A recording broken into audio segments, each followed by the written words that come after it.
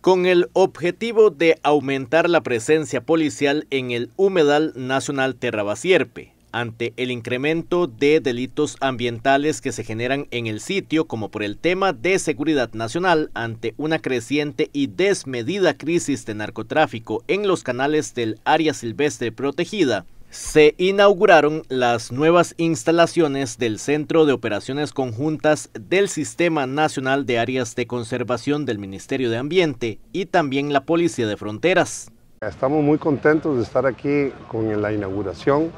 del Centro Conjunto de Vigilancia entre la Fuerza Pública, la Policía de Fronteras y el SINAC y sus guardaparques, aquí en el, humedal de Terra Basierpe,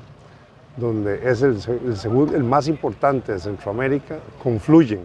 una biodiversidad tremenda, como todo en Costa Rica, del importantísimo humedal que tenemos aquí, los manglares de esta zona, con, es un punto de entrada como está empezando a suceder en algunas áreas protegidas del narcotráfico. Entonces, este es un esfuerzo conjunto del gobierno de Costa Rica de unir esfuerzos eh, en un solo, en un mismo sitio, la Policía de Fronteras y los guardaparques, para que entre los dos tengamos más de 22 personas destacadas. El humedal Terrabasierpe carecía de instalaciones en el sitio para albergar personal de guardaparques. Sobre todo unidades que están poniéndole hoy el pecho a las balas en materia de seguridad y lucha contra el narcotráfico.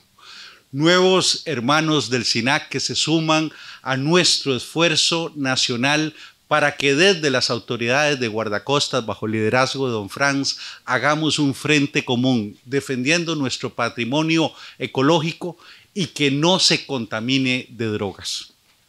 Señor presidente, esto es parte del componente de la operación soberanía que usted nos ha indicado hacer. Bajo ese espíritu trabajamos distintas fuerzas de policía con apoyo de distintos cuerpos de la Embajada de los Estados Unidos y hoy lo que usted ve es la materialización de ese espíritu de esa orden que usted nos encomendó en la Operación Soberanía. Las nuevas instalaciones constan de una serie de contenedores adecuados para que tanto el personal de guardaparques como el personal de policía de fronteras puedan maximizar sus funciones en el humedal, en el resguardo de las fronteras marítimo, terrestre y aéreo.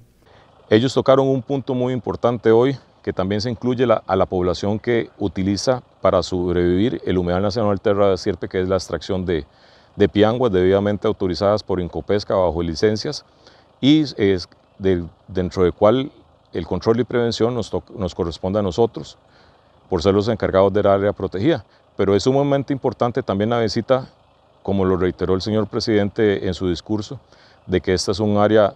protegida muy importante, el humedal más grande de Centroamérica en un solo bloque, estamos hablando de 14 mil hectáreas, y también muy importante la visita del señor ministro porque conversamos con él sobre la problemática aquí y lo que pues, se puede resolver en lo que ellos son los jerarcas y que lo pueden manejar políticamente para el bienestar de la población que existe en este lugar.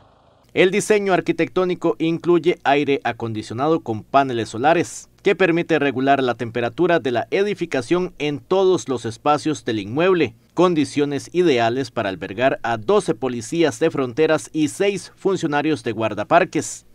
Desde esta estación, la Policía de Fronteras operará las nuevas embarcaciones fluviales para fortalecer las patrullas en esta región. Gracias a todos los oficiales por su ardua labor, por hacer una realidad este proyecto que beneficiará definitivamente la seguridad y el medio ambiente de Costa Rica en esta región. La construcción de estas instalaciones para la Policía de Fronteras y los funcionarios del SINAC